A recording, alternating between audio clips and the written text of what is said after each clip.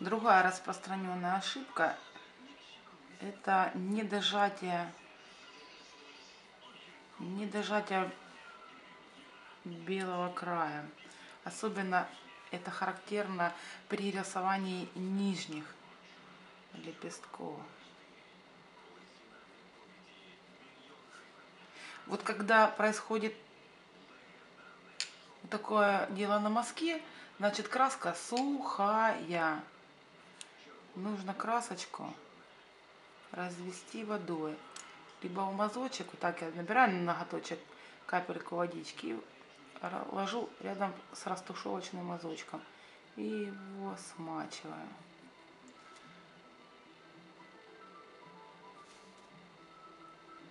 Не дожали и опять сорвали руку. И заломили этот край.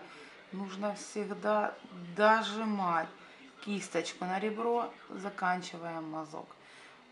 Вот ваш краешек. Э, когда забываете вывести кисть на ребро, с ребра начинаем, ребром заканчиваем. Получаются вот такие вещи. Потянули, получилась линия. Если мы прокрутили, ребро поймали, вот на тоненькую линию вышли. Э, самый распространенный дефект при рисовании розочек именно вот этой стороны, именно бокового лепестка.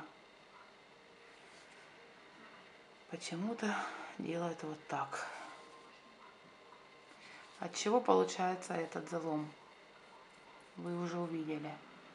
Кисточка на ребро не вышла,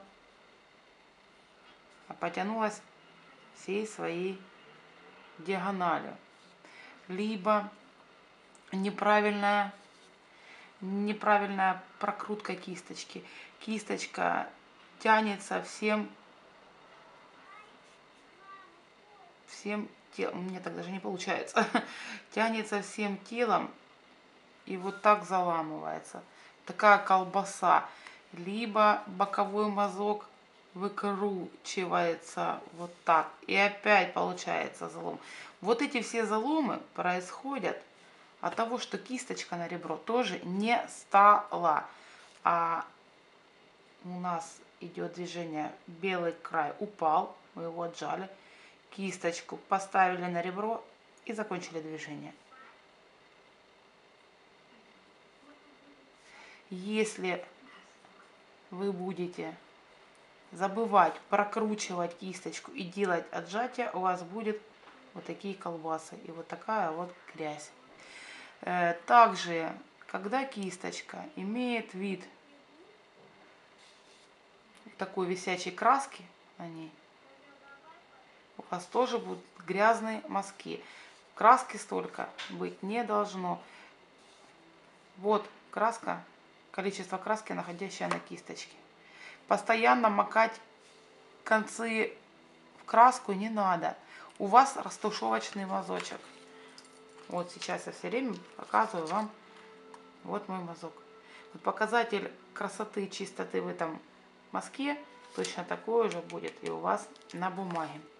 Не надо постоянно брать краску в мазок. У вас в мазке есть краска, закончилась краска на кисточке.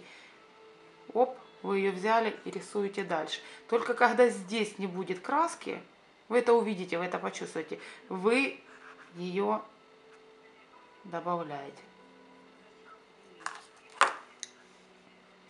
Еще раз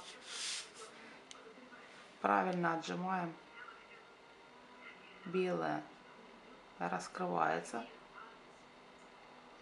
и подрезается. И точно так же в эту сторону. И чем ниже идет у вас,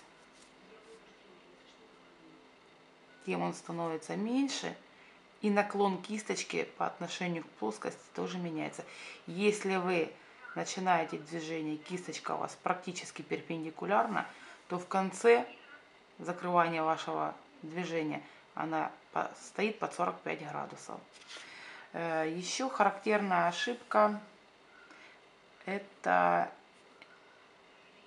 неправильный набор краски, неправильное выстраивание слоев в многослойных цветах.